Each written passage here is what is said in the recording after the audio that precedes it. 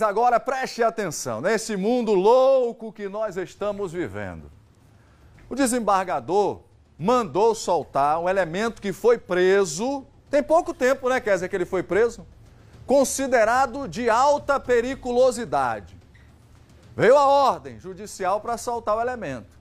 Quando chegou na direção da penitenciária, o diretor da penitenciária disse: Eu não posso soltar porque tem que ter a tornozeleira eletrônica para ele ficar monitorado. E aí vai de novo a comunicação para a justiça. E a justiça disse: solta o elemento, bota ele na rua sem monitoramento. Douglas Magalhães traz os detalhes agora. Olho no olho e bronca na tela. Acabou o estoque de tornozeleira em Sergipe. A partir de agora, quando a justiça mandar soltar um preso e colocar a tornozeleira para fazer monitoramento, aí vai ter um problema. Ele vai ter que continuar preso ou então a autoridade judiciária vai determinar que este preso seja colocado em liberdade sem monitoramento. Um traficante preso recentemente pelo DENARC sob acusação de ser um dos maiores traficantes de cocaína do Nordeste estava preso em uma unidade aqui de Sergipe. Um alvará de soltura foi expedido pela Justiça. Só que quando chegou na penitenciária, a informação de que não poderia soltar o preso, porque a autoridade judiciária pedia que fosse colocada uma tornozeleira. O documento informa que não existe tornozeleira à disposição e por isso não ia soltar este preso. O documento retornou para o judiciário e a autoridade judiciária mandou que este preso fosse colocado em liberdade.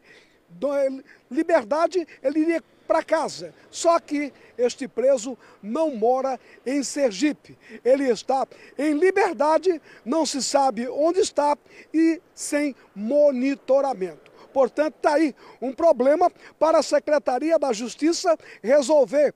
Acabaram as tornozeleiras no estado de Sergipe.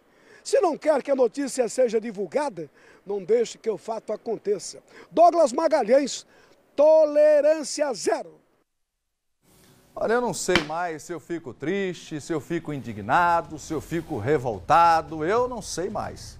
Eu só sei de uma coisa: o que nós mostramos aqui nesse programa todos os dias são fatos. Nós trabalhamos em cima de fatos. Quando eu digo que nós estamos esfacelados, que a segurança pública do estado de Sergipe está um caos, eu tenho como falar sobre isso porque nós apresentamos fatos todos os dias. Não é? Cadê a secretaria? Secretaria de Justiça, Secretaria de Segurança, cadê? Quer dizer que o elemento, tudo bem, é ordem judicial, a gente tem que cumprir. Aí o diretor do presídio toma um posicionamento e diz: não, eu não posso soltar porque a ordem é para ter a tornozeleira. Não, acabou a tornozeleira. Não tem mais tornozeleira no Estado. Como é que está se comunicando aí a Secretaria de Justiça do Estado de Sergipe, em Késia, com a Secretaria de Segurança? Como é que está essa comunicação? O que é que está acontecendo? A minha impressão que eu tenho, que nós apresentamos aqui todos os dias, nós apresentamos é povo, fazemos jornalismo de povo para povo. A impressão que eu tenho é de abandono total. É essa a impressão que eu tenho.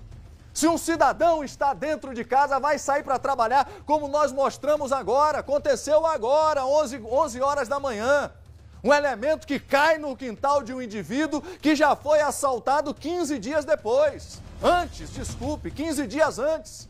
Não tem uma matéria que nós venhamos a fazer aqui que você coloque o um microfone em um cidadão e ele diga assim: não, eu nunca fui assaltado. Eu nunca fui assaltado, não sei o que é isso. É na porta de casa, é no ponto de ônibus, é dentro do ônibus, é na empresa, é dentro de casa. É isso que está acontecendo hoje, o sentimento que eu tenho de cidadão. Não é? Esqueça aqui o apresentador que fica indignado. Esqueça, eu não sou apresentador de coisa nenhuma, eu sou um papagaio falante e ponto final. E Deus me botou aqui para dar voz ao povo. É isso aí. É o sentimento, eu tô na rua, viu, governador? Eu ando nas ruas dessa cidade. E não sou eu que estou dizendo, não, é o povo que me diz isso. Nós estamos abandonados.